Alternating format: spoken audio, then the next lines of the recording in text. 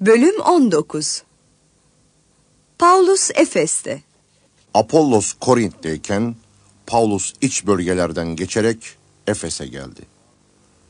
Orada bazı öğrencileri bularak onlara İman ettiğiniz zaman kutsal ruhu aldınız mı? diye sordu. Kutsal ruh diye birinin varlığını duymadık ki. Dediler Öyleyse neye dayanarak vaftiz oldunuz? diye sordu. Yahya'nın öğretişine dayanarak vaftiz olduk. Dediler. Pavlus Yahya'nın yaptığı vaftiz tövbe ile ilgili bir vaftizdi. dedi. Halka kendisinden sonra gelecek olana yani İsa'ya inanmalarını söyledi. Onlar bunu duyunca Rab İsa'nın adıyla vaftiz oldular. Paulus ellerini onların üzerine koyunca kutsal ruh üzerlerine indi ve bilmedikleri dillerde konuşup peygamberlik etmeye başladılar. Aşağı yukarı 12 kişiydiler. Havraya giren Paulus cesaretle konuşmaya başladı. Üç ay boyunca oradakilerle tartışıp durdu. Onları Tanrı'nın egemenliği konusunda ikna etmeye çalıştı. Ne var ki bazıları sert bir tutum takınıp ikna olmamakta direndiler. Ve İsa'nın yolunu halkın önünde kötülemeye başladılar. Bunun üzerine Paulus onlardan ayrıldı. Öğrencilerini de alıp götürdü. Ve Tiranus'un dershanesinde her gün tartışmalarını sürdürdü. Bu durum iki yıl sürdü. Sonunda Yahudi olsun, Grek olsun, Asya ilinde yaşayan herkes Rabbin sözünü işitti. Tanrı Paulus'un eliyle olağanüstü mucizeler yaratıyordu.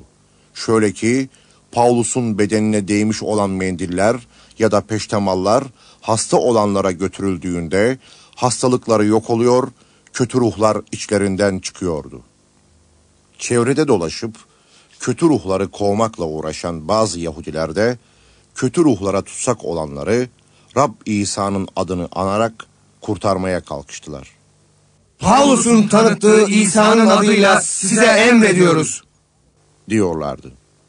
Bunu yapanlar arasında Sikava adlı bir Yahudi başkahinin yedi oğlu da vardı. Kötü ruh ise onlara şöyle karşılık verdi. İsa'yı biliyor, Pavlus'u da tanıyorum ama siz kimsiniz? İçinde kötü ruh bulunan adam onlara saldırdı. Hepsini alt ederek bozguna uğrattı. Öyle ki o evden çıplak ve yaralı olarak kaçtılar. Bu haber Efes'te yaşayan bütün Yahudilerle Greklere ulaştı. Hepsini bir korku aldı ve Rab İsa'nın adı büyük bir saygınlık kazandı. İman etmiş olanların birçoğu geliyor, yapmış oldukları kötülükleri itiraf edip aşağı vuruyordu. Büyücülükle uğraşmış bir sürü kişi de kitaplarını toplayıp herkesin önünde yaktılar. Kitapların değerini hesapladılar, toplam 50 bin gümüş para tutuyordu. Böylelikle Rabbin sözü kudretle yayılıyor ve etkinlik kazanıyordu. Paulus bu olup bitenlerden sonra Makedonya ve Ahaya'dan geçip Kudüs'e gitmeye karar verdi. Oraya gittikten sonra Roma'yı da görmem gerek. diyordu. Yardımcılarından ikisini Timoteus ile Erastus'u Makedonya'ya göndererek kendisi bir süre daha Asya ilinde kaldı. Efes'teki kargaşalık O sırada İsa'nın yoluna ilişkin büyük bir kargaşalık çıktı. Artemis tapınağının gümüşten maketlerini yapan Dimitrius adlı bir kuyumcu el sanatçılarına bir hayli iş sağlıyordu.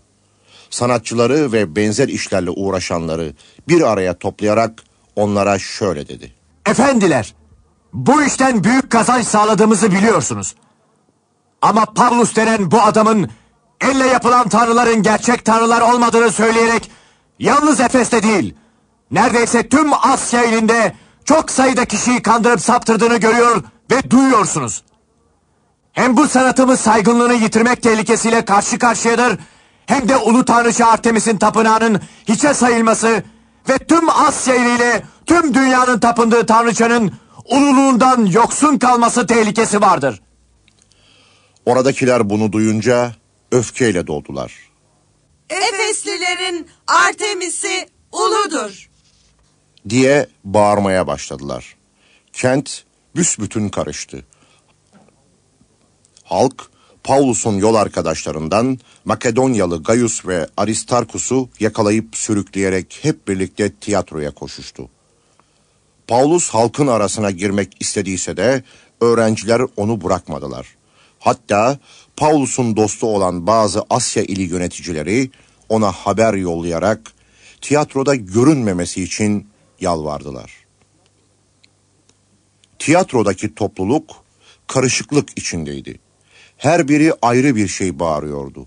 Çoğunluk ne için toplandıklarını bile bilmiyordu. Yahudiler İskender'i öne çıkarınca kalabalıktan bazıları olayı ona bağladı. Eliyle bir işaret yapan İskender halka savunmasını yapmak istedi. Ama halk kendisinin Yahudi olduğunu anlayınca hepsi bir ağızdan yaklaşık iki saat süreyle Efeslilerin Artemis'i uludur. diye bağırıp durdu. Kalabalığı yatıştıran belediye yazmanı Ey Efesliler! dedi. Efes kentinin Ulu Artemis tapınağının ve gökten düşen kutsal taşın bekçisi olduğunu bilmeyen var mı? Bunları hiç kimse inkar edemez. Bunun için sakin olmanız, düşüncesizce bir şey yapmamanız gerek.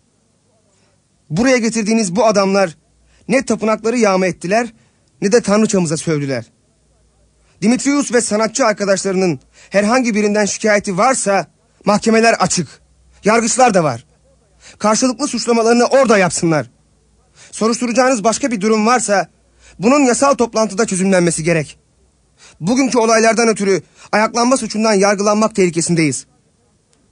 Bu kargaşanın hiçbir gerekçesi olmadığına göre hesabını da veremeyeceğiz. Bunları söyledikten sonra halkı dağıttı.